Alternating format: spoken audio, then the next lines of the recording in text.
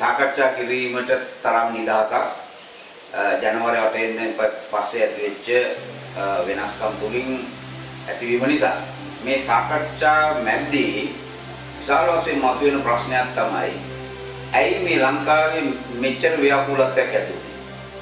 ඇයි රටේ නීතිය මුළුමනින්ම වගේ කඩා වැටෙන තත්ත්වයක් ඇති ඇයි අධිකරණයේ තිබිච්ච නිදහස මුළුමනින් වගේ නැතුයි? ඇයි මේ රටේ යුද්ධ ඇති සිවිල් යුද්ධ ඇති අපි බොහෝ වෙලාවට බලන්නේ යම් ප්‍රශ්නයක් ආපුවම ඒ වෙලාවේ ඒ ප්‍රශ්නේ තියෙන දිහා බලලා ඒකේ මතු පිට සමහර දේවල් උඩ අපි නොයෙක් විශ්ලේෂණ කරනවා. උදාහරණයක් වශයෙන් උතුරේ නැගෙනේ නැගෙනහිර ප්‍රශ්නේ ඇවිල්ලා යුද්ධය ඇති වෙනකොට අපි කියන්න ගත්තා මේ රටේ තියෙන මහා බරපතල ජාතිවාදයක් දෙපැත්තෙම ඒකත් මේ ජාතිවාදය තමයි මේකට හේතුව කියලා. දැන් ඒ වගේම තමයි ජනතා විමුක්ති පෙරමුණේ ප්‍රශ්න තියෙන කාලේ අපි කිව්වා දැන් මෙතන මේ විප්ලවයක් ඇති වෙන එකයි අර ඒ වගේ ප්‍රශ්න. අපි ඒ වෙලාවට මතු පිටින් කතා කිරීම තමයි මේ රටේ තියෙන සිරිත. නමුත් මේ වගේ ලොකුවටම ප්‍රශ්න ආවට පස්සේ අපි අත ගහලා විසඳන්න හැම ප්‍රශ්නෙම අවුල් වෙන තත්ත්වයක් ආවට පස්සේ මීට වඩා ගැඹුරින් බැලිය යුතු වෙනවා. මොකද්ද මේකට පසුබිම අපිට ඉතා පැහැදිලිවම කියන්න පුළුවන් ලංකාවේ පසුගිය පසුකාලික කාලයේ තුල ඇතිවෙච්ච සෑම ප්‍රශ්නයකම මුල හොයන්න නම් 1931 සිද්ධ වුණේ මොකද්ද කියන එක හොයන්න වෙනවා. අපි දන්නවා 1931 ඩොනමෝර් සාමිවරයා ඇතුළුව ඒ රටේ පක්ෂ ගණනාවකින් සමන්විත කොමිටුවක් ආවා. ඒ කොමිටුව ඉස්සරහා මිනිස්සු නොයෙක් ඒගොල්ලන්ගේ මත ප්‍රකාශ කෙරුවා. නම් මත ප්‍රකාශ කිරීම වලින් පස්සේ මේ ලංකාවට සර්වජන ඡන්දය දෙන බව හා දීමට ඔහු කටයුතු කළා.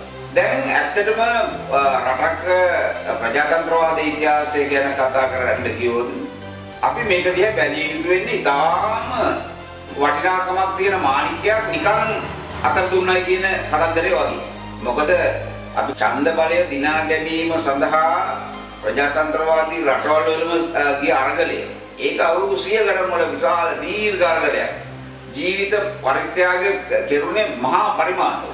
ඒවට විරුද්ධව විශාල මර්ධන මැද්දේ මේ රටේ මිනිස්සු දැනගන්න ඕනේ මේ මේ මේ මේවා දිනා ගන්න ගෙනිච්ච අරගල නිකම් මේ ගහක ගෙඩියක් ඉන්නා වගේ ආපු දේවල් නෙවෙයි.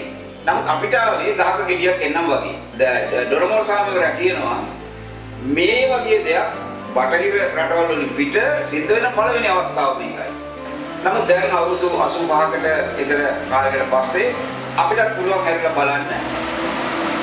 මොකද්ද මේ සර්වජන චක්‍රවලයේදී ලංකාවේ සිද්ධ වෙච්ච තත්ත්වය මොකක්ද කියන්නේ. මේකෙදී අපිට පේන්නේ අර මහා මාණික්‍යයක් වගේ දෙයක් අතර ගත්ත මිනිස්සු. ඒක පාවිච්චි කරන්න ගියේ මේ රටට සමුදයක් දෙන්න පුළුවන් මේ සද්ද ස්ථාවරත්වයක් දෙන්න පුළුවන් මේ රටට මාවත පාවන්න පුළුවන් දෙයක් හැටියට නෙවෙයි තම තමුන්ගේ පුද්ගලික සුළු දේවල් සඳහා මෙන්න මේ ප්‍රශ්නේ තේරුම් ගැනීම හරි අවශ්‍යයි. පාර්ලිමේන්තුවට යන්න පුළුවන් කියලා දෙච්ච කණ්ඩායම ඔක්කොම හිතන්නේ මට මේකේ මොකද්ද තියෙන්නේ. පාර්ලිමේන්තුවට යන්න පුළුවන් ඡන්දය ගත්තොත් නේ. ඡන්දය ගන්න පුළුවන් පහත්ම තත්ත්වෙට කියලා. දැන් පහත්ම තත්ත්වය කියන්නේ මේ විස්තර කරුවා යන්නේ.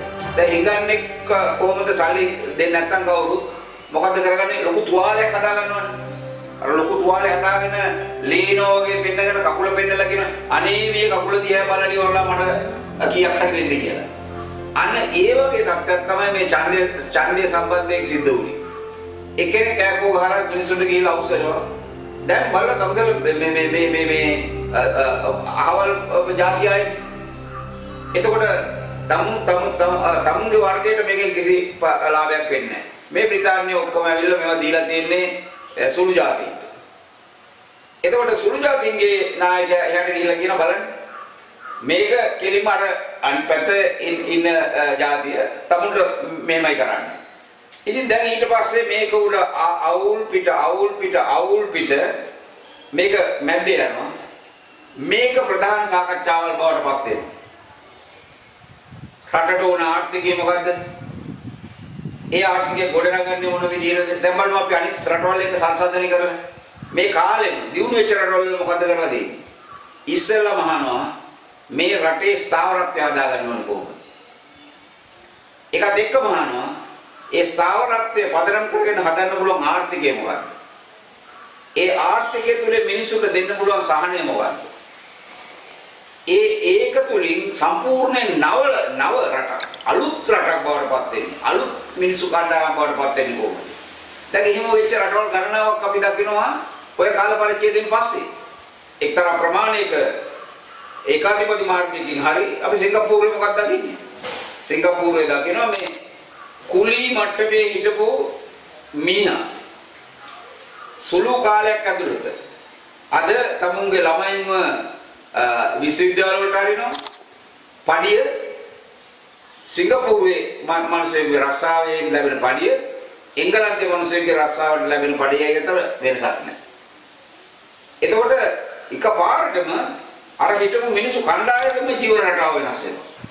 දැන් අද ඒ රටවල් ඒක අද පළවෙනි ලෝකේ තරමට රැකියාවල් අතින් අධ්‍යාපනය අතින් මිනිසුන්ගේ බලාපොරොත්තු අතින් මේ සියලුම දේවල් වලින් වෙනස් වෙලා පවතිනවා. ඇයි එහෙම වුනේ? සර්වජනකන්දේ වැරද්දක් තිබුණා. ඒ ඒකද ප්‍රශ්නේ. මේක දරන්න පුළුවන් වර්ගයේ දේශපාලන සංස්කෘතියක් හදන්න හදන්න හැකියාව තියෙන නීතිමය පදනමක් මේ රටේ තිබුණේ මේ රටේ නීතියේ ආධිපත්‍ය නීතිය මත පාලනය කියන දේවල් වල එක්තරා දියුණුවක් ඇති කරලා තිබුණා යටත් විජිතයක් යටතේ. නමුත් යටත් විජිතයක ස්වභාවය තමයි ඒකට මිනිස්සුන්ට නිදහස දෙන්න බෑ. නිදහස කියන එකයි යටත් විජිතය කියන එකයි එකිනෙකට පරස්පර විරෝධී. ඒ නිසා ස්වාධීන රාජ්‍යයක් බවට අපිපත් වෙන්නේ 1948 පෙබරවාරි 4 වෙනිදා තමයි පළවෙනි පාට ස්වාධීන රාජ්‍ය කියන එකක් එන්නේ. දැන් මේ ප්‍රශ්නය මේ අලුතෙන්ම බලය ලබා ගන්න පුළුවන් කියලා ආපු කට්ටිය 1934 ම දැක්කේ නැහැ. ඒගොල්ලෝ එකිනෙකා සමග තරඟ කරන්න ගත්තට පස් මිසක් ඒගොල්ලෝ හැව්වේ නැහැ. හරි ඒගොල්ලෝ මේක අපිට දුන්නා. තාමත් ඕගොල්ලන්ගේ යටත් වෙච්ච දෙනේ. දැන් ඕගොල්ලන්ට මේ යන්න ඉස්සෙල්ලා ඕගොල්ලන්ට පුළුවන් ද මෙතන පොලිසිය ස්වාධීන රටක පොලිසියක් තත්ත්වයට පත් කරගන්න. ඕගොල්ලන්ට පුළුවන් ද මෙතන මේ දූෂණය මර්ධනය කිරීම සාර්ථක මට්ටමින් කරගන්න පුළුවන් ව්‍යුහයක් හදන්න. ඕගොල්ලන්ට පුළුවන් ද මේ අධිකරණය උස්සලා තියන්න අපි අපිට අපේ ස්වාධීන රාජ්‍යයට මඟ පෙන්වීමක් දෙන්න පුළුවන් හැටියට. මේ ආකාරයෙන් මේ රාජ්‍ය තන්ත්‍රය ආණ්ඩු කියන්නේ එකක් රාජ්‍ය තන්ත්‍රය කියන්නේ තවත් එකක්. දැන් රාජ්‍ය තන්ත්‍රයේ තියෙන දුර්වලතාවය. ආණ්ඩුවක් කරගැනීමේ බලය තියෙනවා. ඔක්කොම දෙනාගේ ඔළුව යන්නේ ඒ ආණ්ඩුවකටපත් වෙන එක විතරයි. මොන හරි කරලා ජනතාවගේ පොපුලැරිටි එකක් ලබා ගන්න, ජනප්‍රියත්වය ලබා ගන්න.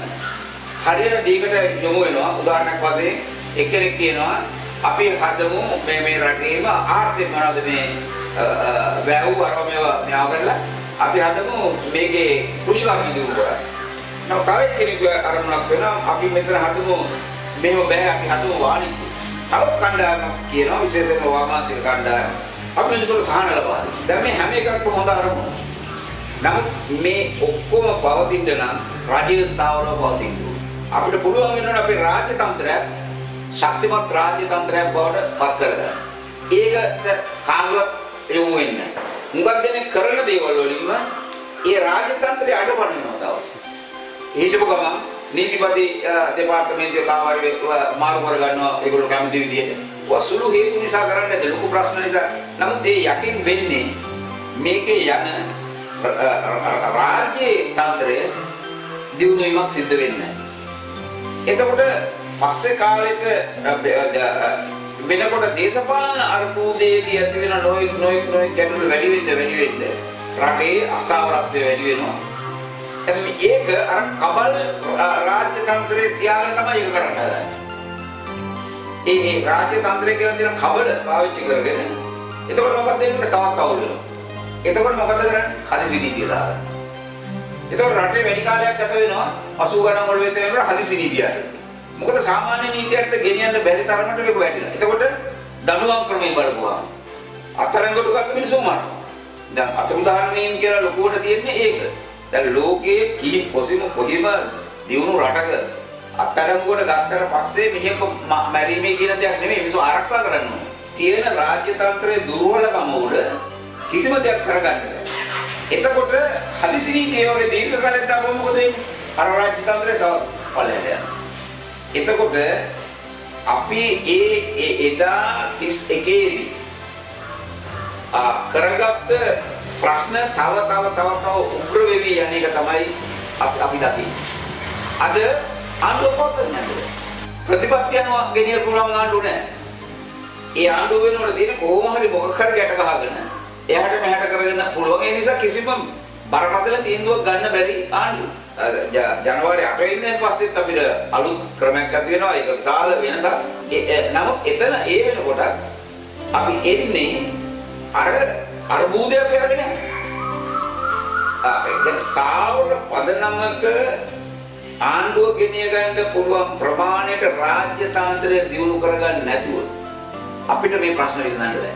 ඉතින් ඒක සරල 1931 න් ගන්න දෙන පාඩම. 1931 ප්‍රයෝජනය අපිට ලැබෙන්න නම් ඒක දරා ගන්න පුළුවන් රාජ්‍ය තත්ත්වයක්.